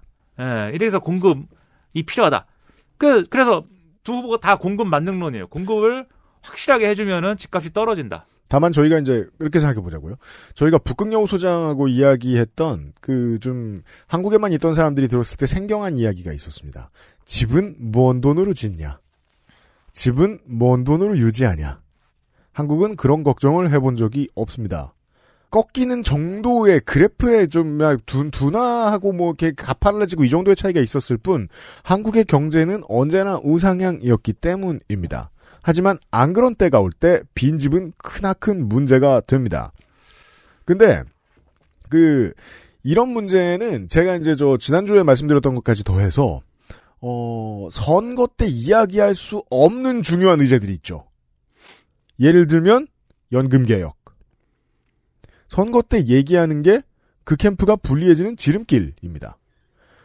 그래서 이게 저 족쇄처럼 저는 자꾸 말씀드리고 있는데 하다 보니 결국 비슷한 얘기들을 하게 된다는 거예요. 부동산에 대해서 특히 공급을 하면 집이 집이 집이 빵이냐고요.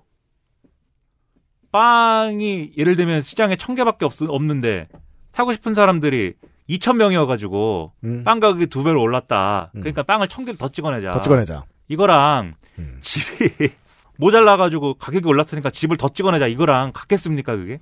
집을 예를 들면 더 찍어냈다고 보자고요. 100채밖에 없어가지고 200명이 살아야 되는데 100채밖에 없어가지고 100채를 더 찍어냈다라고 할 때그 100채 가격을 지금 집을 갖고 있지 않은 100명이 살 수 있습니까? 그 가격대로? 그 점을 인정해야 될 필요가 있죠. 살 수가 없어요. 돈이 없어가지고.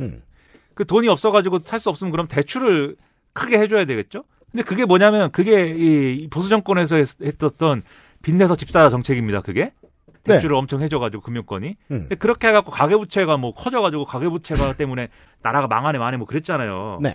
그때로 다시 돌아가자는 것인지 아니면은 그 어 그렇게 공급을 늘렸을 때 어, 다시 그 집을 우리가 옛날에 보면은 땅 개발하고 거기다 집 짓고 하면은 땅값도 오르고 그 주변 이 아파트 시세도 오르잖아요. 네.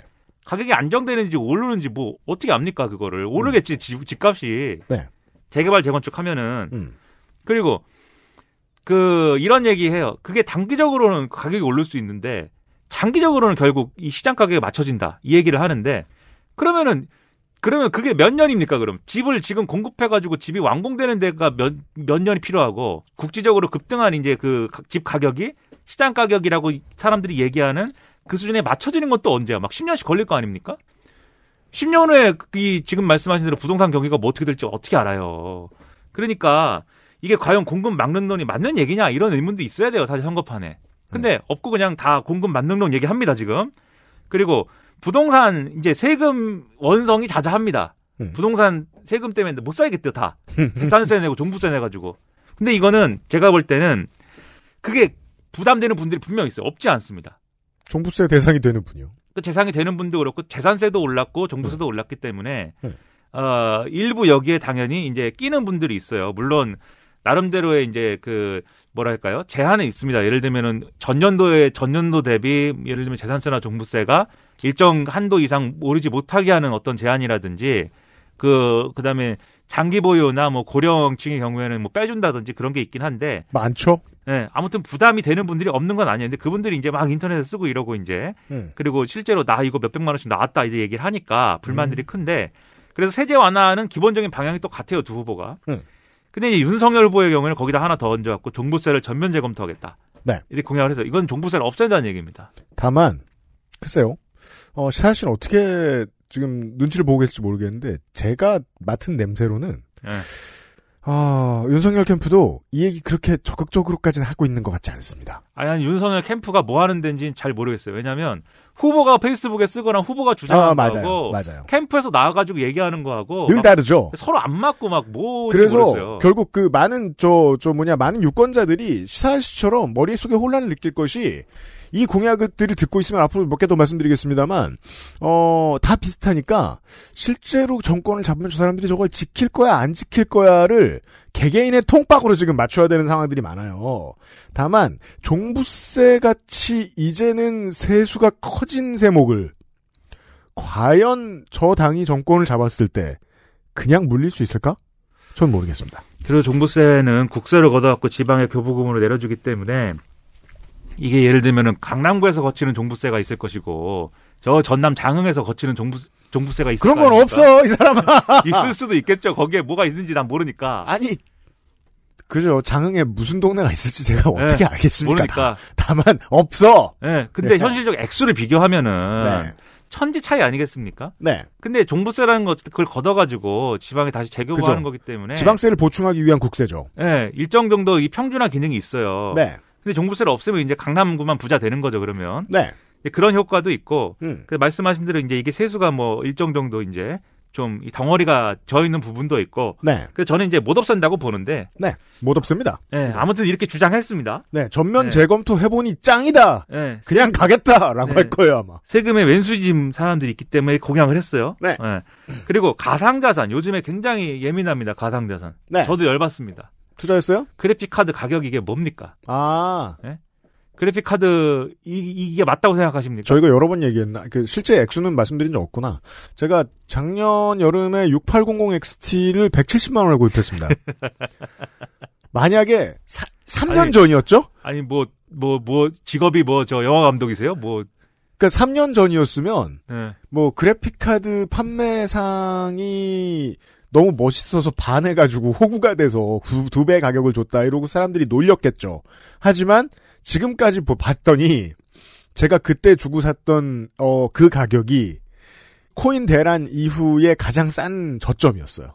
예. 아직까지도. 그래픽 카드를 국유화해야 돼요. 왜냐면 제가 저 1080을 사고 한 5년 동안 쓰다가 교체를 해야지 라고 생각을 하고 구매를 했었거든요. 예. 근데 이제는 엔비디아 건 진짜 넘보지도 못합니다. 어 나도 이름은 1080이에요.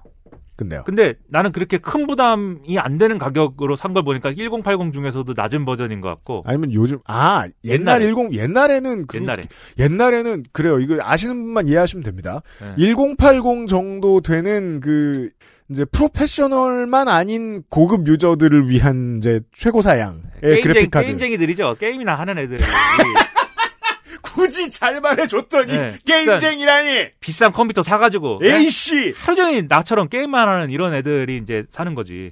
80만 원 후반에서 100만 원 초반이면 사, 초반이면 샀어요.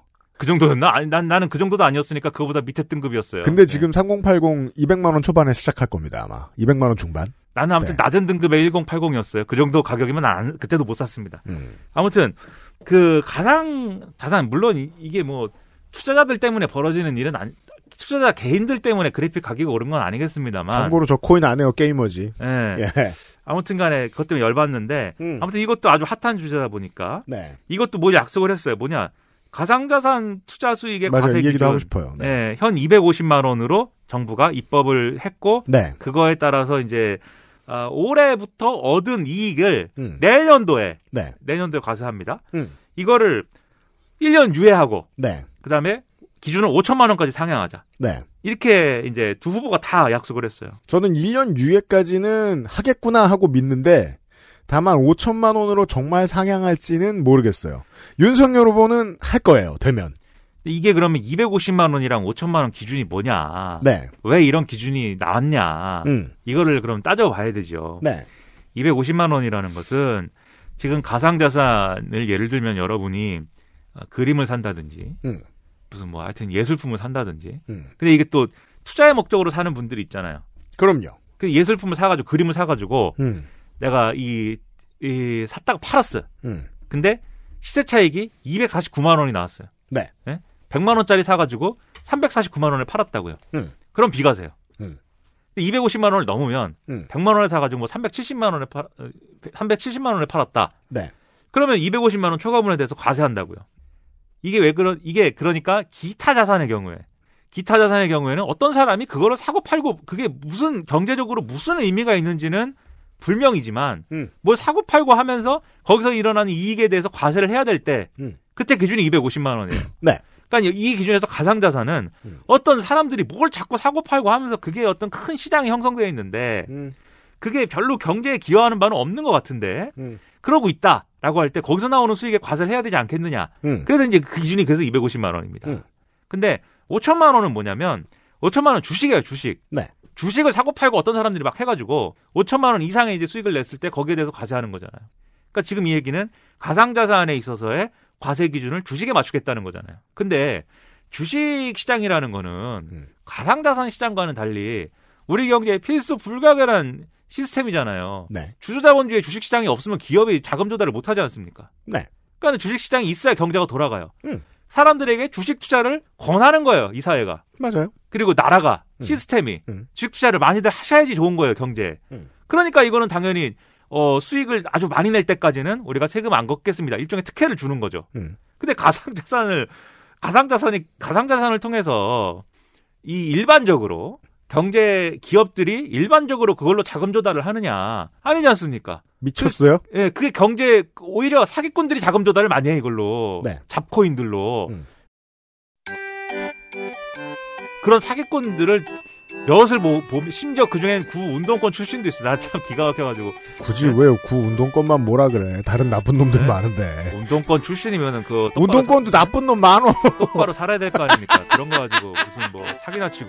그러니까 아무튼 아유 선배들 얼굴 다 떠오르는데 뭘 네, 코인 똑바로 살아. 코인 코인 사기나 치고. 근데 XSFM입니다.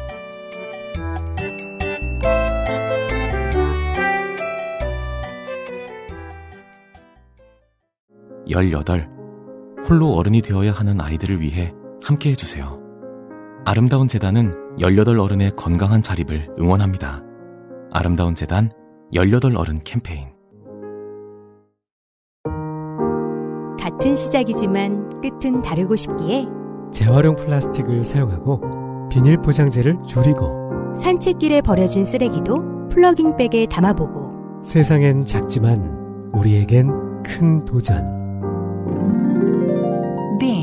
Green 함께 걸어요. 자연주의 천연 샴푸 빅그린 가장 본연의 것에 집중했습니다. 기본에서 답을 찾다. 새로운 건강기능식품. 건강 스타일엔 튜비엔. 본 광고는 건강기능식품 광고입니다.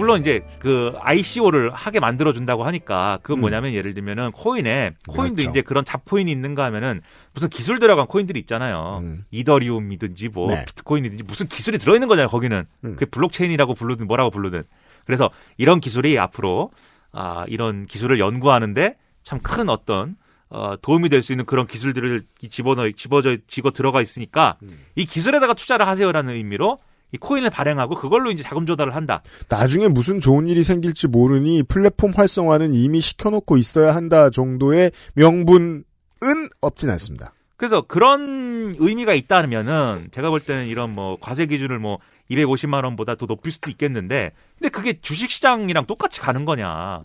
그건 이제 좀 의문이죠. 그리고 자, 사실 그럼 그걸 만약에 이제 내가 그 캠프에 있는 사람이에요. 컨설턴트인데 캠프로 들어왔어요. 예. 이대남이 무서우니까 아마 이런 공약을 했겠죠. 아 바로 그거죠. 근데 저쪽에서 했는데 내 쪽이 안 걸면 당내에서 말이 나올 것이고. 그럼 그걸 어떻게 설득하고 잠재운 다음에 대체 메시지를 내놓을까요? 그래서 이재명 후보가 얘기했어요.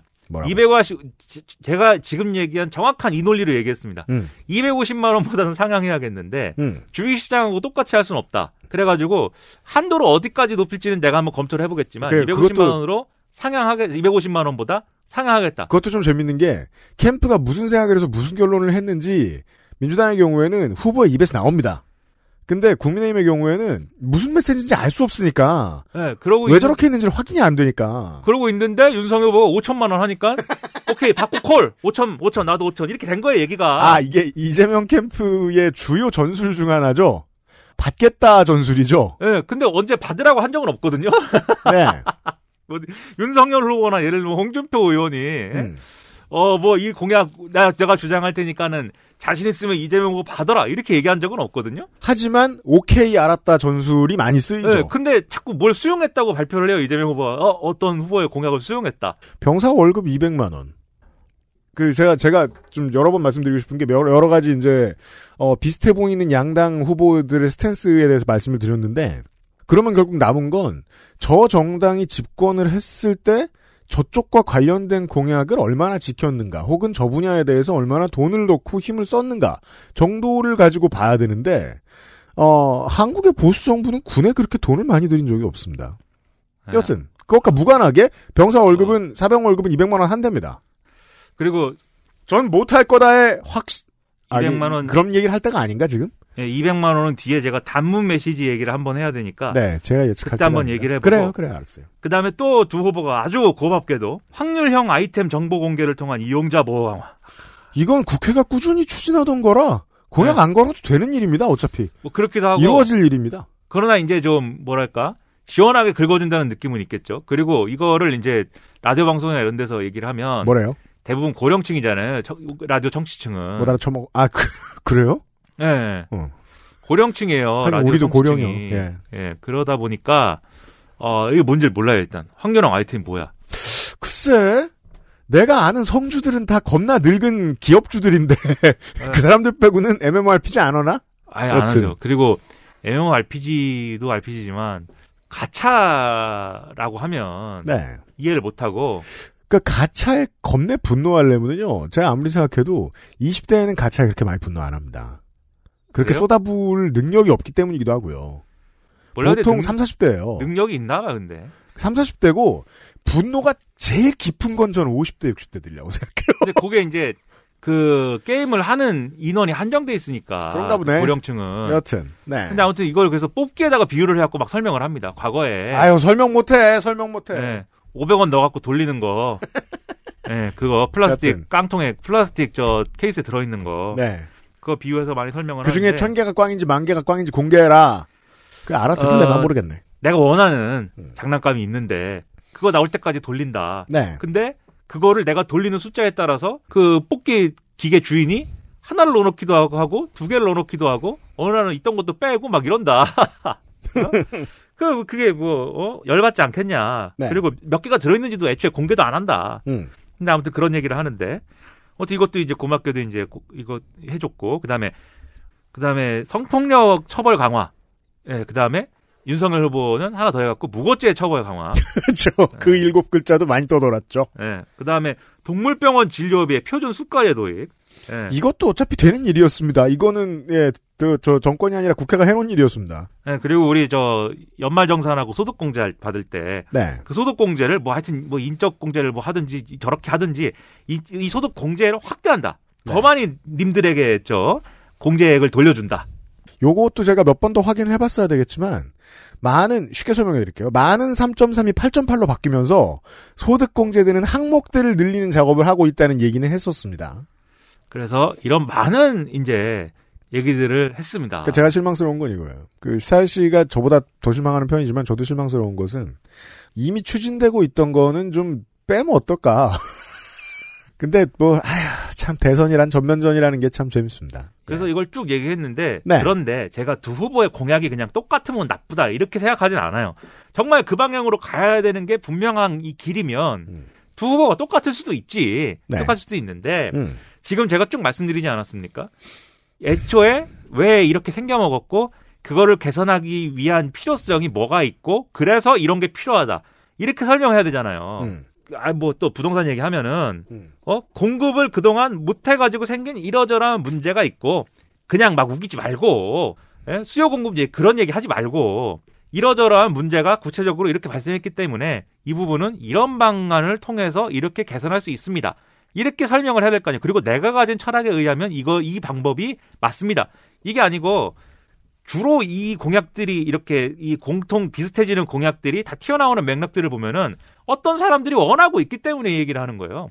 네. 그러니까 실제로 국가가 해줄 수 있느냐 없느냐 음. 또는 그 해법이 맞느냐 틀리느냐 이게 아니고 이걸 원해요. 부동산 커뮤니티에서 엄청나게 원합니다. 예, 그게 맞는지 틀린지 상관없어요. 음. 예, 세금 깎, 무조건 깎, 깎아줘야 됩니다. 무조건. 그리고 예? 지금 뭐 이거 가상자산 이런 거 가상자산 투자자들한테 물어보세요. 다 분노합니다. 내가 그, 어? 그 열심히 저 단타매매 해가지고 내가 벌은 돈인데 뭐 정부는 거기에 대해서 뭐 해준 것도 없으면서 세금을 떼어가냐. 분노의 도가니야, 분노의 도가니. 그러니까 원래 가장 정치 참여에 적극적인 사람들은 안타깝게도 돈과 권력이 자기 가까이에 있는 사람들인데 그 사람들의 목소리가 가장 먼저 반영이 되죠.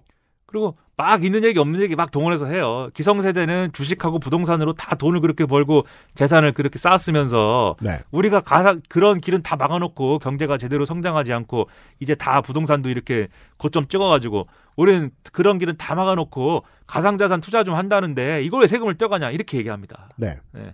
그러면서 그러면서도 한편으로는 연끌 대출 받아갖고 집을 사가지고 그러니까 저쪽에 저쪽의 비겁함을 탓하기 탓하면서 동시에 어, 자신의 비겁함을 가리는 서사죠. 그러니까 이게 애초에 애초에 저처럼 돈 없는 놈은 생각도 못 해요. 그냥 생각도 못 하는 얘기들이에요. 가상자산 투자할 돈이 어디 있습니까? 그 아니 물론. 뭐 저 간땡이가 부으면 시사 아저씨도 만인 만사 비정규임에도 불구하고 비정규 급여 나올 때마다 어디 코인에 들이받을 수도 네. 있겠지. 아니, 그럴 수 있어요. 그리고 제가 이런 다만- 얘기 이런 얘기 하면 또 지금 코인 투자하신 분들이 화낼 수 있으니까 제 주변에도 저랑 비슷하게 사는데 음. 코인 투자한 사람들 많이 있습니다. 실제로. 네. 예, 근데 이제 저는 그렇다 이 얘기고 아무튼 뭐 그래요. 그래가지고 이게 그냥 원하는 사람들이 있으니까는 그냥 예를 들면 이거 어 그럼 내가 다 약속해주겠습니다. 음. 이렇게 했을 때 그런 방식을 뭐라고 하느냐? 음. 그런 방식을 포퓰리즘이라고 하는 거예요. 그러니까 네. 포퓰리즘이라는 게 그냥 단순히 돈을 많이 쓴다거나 음. 그냥 단순히 무슨 인기 영합이다 뭐 이런 차원의 문제가 아니고 음. 이게 무슨 그 어, 합리적으로 왜 그러한 결론에 도달하게 되었는지가 어떤 자기 내적인 통치의 논리로서 설명이 돼야 되잖아요. 음. 지금 그런 게 아니거든요.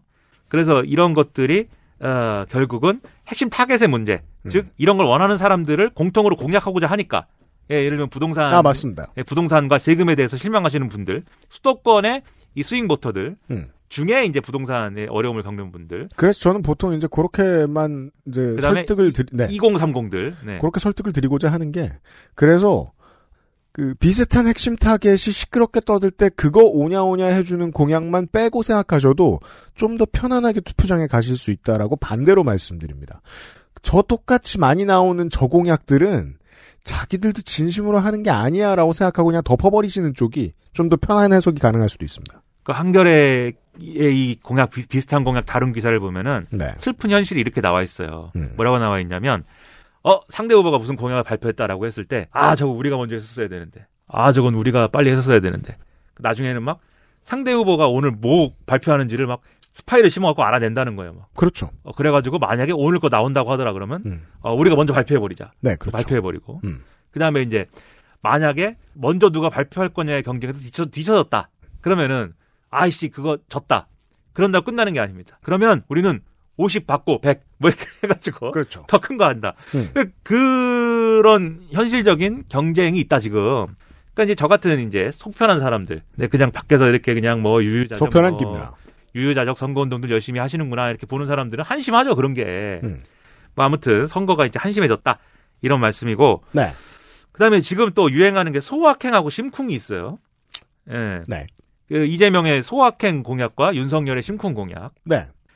그래갖고 제- 저는 그래서 지난달에 하루 종일 그러니까 그 이번 대선 레이스가 시작이 된 다음에 하루 종일 공약 얘기가 나온 첫날이 바로 그때였어요.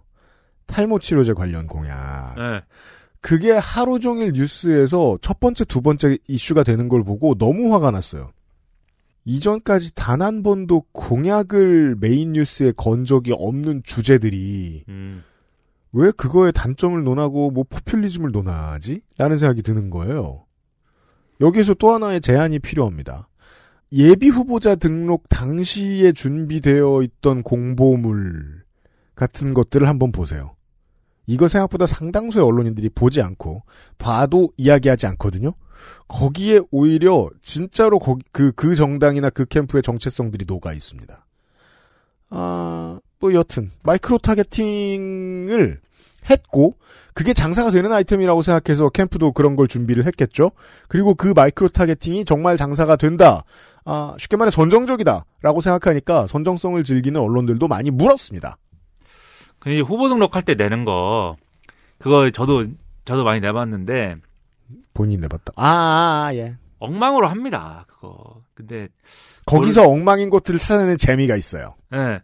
근데 뭐 왜냐면 왜냐면 이 하루 이틀 합니까? 이 정책 그다음에 어떤 그뭐 아, 뭐, 뭐 해야 되는 공약, 뭐 이런 거 하루 이틀 하는 거 아니거든요? 네. 그래가지고 뭘 하자고 하면은, 그 페이퍼에 써내라고 하면은, 페이퍼에 뭐 당장 써낼 수 있는 거 많이 있어요. 근데 그, 그 핵심 뭐냐면 후보 등록을 하기 위한 거잖아요. 음. 그래서 거기 이제 써내는데, 그리고 문제는 이제 그, 거기에 써낸, 써낸 것 자체를 후보가 자기 선거 캠페인 할 때 그대로 거기에 그대로 하지도 않아요. 하지도 않고, 그리고 언론이 뭐 이렇게 부실하게 쓰는 경우도 있겠지만 또, 또 쫓아다니면서, 쫓아다니면서 쓸 건 다 씁니다, 또. 음. 이재명 후보가 멋있게 그, 음. 오오오 얘기하고, 음. 예? 그 다음에 이제 디지털 대전환 얘기하고, 네. 나는 어느 날 그 방송을 하는데, 그 방송하는 시간이 이재명 후보가 그 디지털 대전환에 이어 가지고, 어, 그, 뭐야, 그 다음에.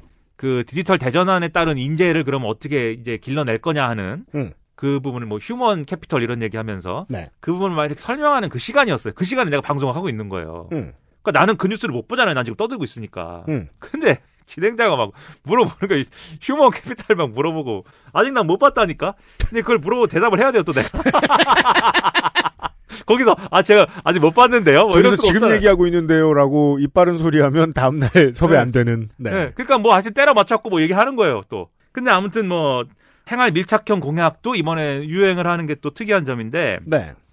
이게 뭐 micro targeting 공약이라는 거는 사실 어, 언론이 많이 얘기하기로는 오바마가 많이 해가지고 이거 재미를 봤다 이렇게 얘기를 해요. 이게 뭐냐면은 오바마하고는 또 다른 게 네. 오바마가 내건 건 어쨌든 뭐 담대한 변화 이런 거잖아요. 당시에 그 담대한 변화를 해야 되는 여러 가지 우리 생활에 뭐 여러 가지가 있다.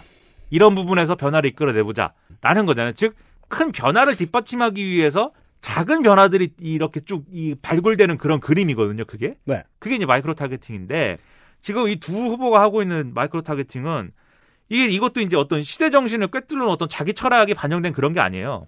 소확행 것이 지금 아까 말씀하신 이제 모발 이 대표적인데 음. 탈모 치료제 대표적인데 그게 이게 탈모인들에게는 상당히 중요한 뉴스일 수 있습니다. 그 상당히 절실한 얘기일 수 있어요. 상당히 중요한 뉴스죠. 예.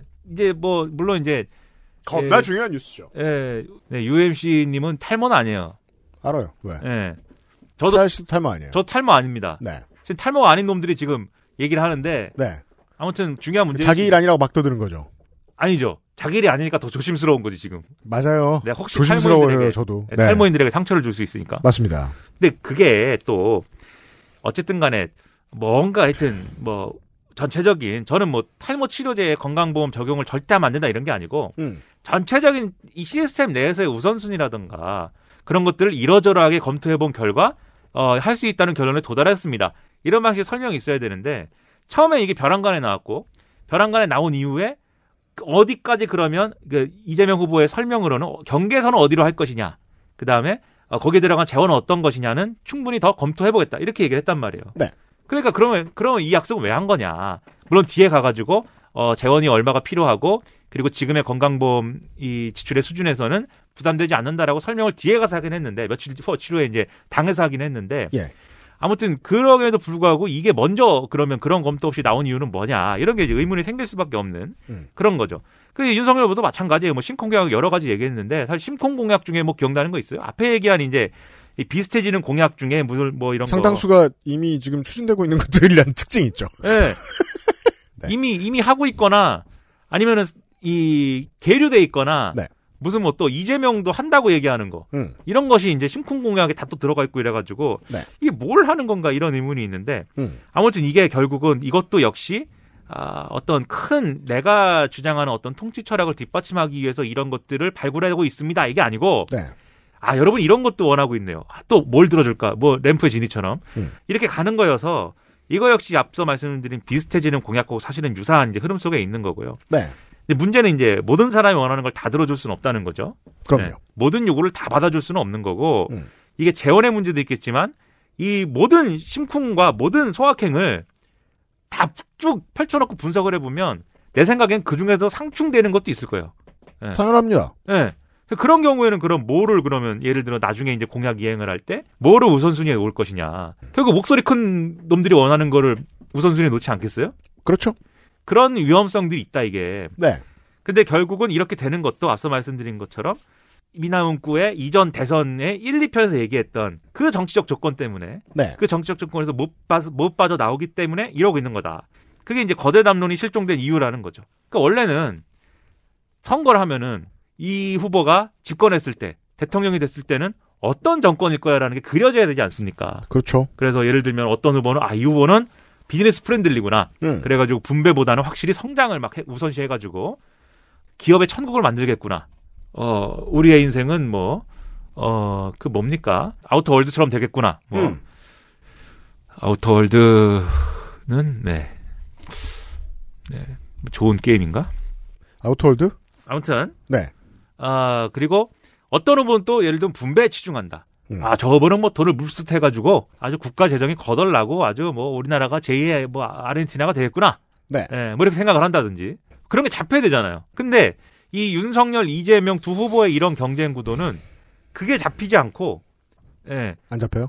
예, 뭐가 어떻게 된다는 거야? 이게, 물론 저는, 저는 나름대로 그 틀을 갖고 있죠. 이렇게 음. 될 것이 저렇게 될 것이다라는 걸. 아, 그렇죠. 제가 얘기하는 건 이제 주요 공략 대상의 중도층의 경우에 어떻게 생각할 것이냐를 이제 가상에서 생각을 해보면 이게 어떻게 되는 거야 세상이 이게 잡히지 않는 그림이다. 그리고 이렇게 된 이유가 이게 지난번에도 말씀드린 건데 지금 대선은 이익 투표의 흐름이 상당히 강화돼 있다고 말씀드렸습니다. 왜냐하면 대의 명분을 이제 내세우고 그 대의 명분에 따라서 진보로 어쨌든 추구했던 정권이 결국은 여러모로 미흡했다라는 평가를 중도층에게 받고 있기 때문에 네. 받고 있기 때문에 이 중도층의 투표 성향은 이익 투표에 기울어져 있는 상황인데 그럴 경우에 대의 명분은 더 이상 정치권이 얘기하는 거는 이제 뭐 큰 시대 정신이니 대의니 뭐 이런 거 믿을 수 없으니까 나의 이익으로 보장해 달라. 즉 일종의 각자 도생 이거를 요구하고 있기 때문에 어, 그렇죠. 지금 앞서 말씀드린 이런 이제 어떤 패턴들이 나타나는 거고 이게 그럼 과거 정권에 없었냐? 과거 정권 다 똑같았어요. 예를 들면 똑같았어요? 참여정부의 경우에 참여정부 말기에 다 이익 투표 성향 강화돼가지고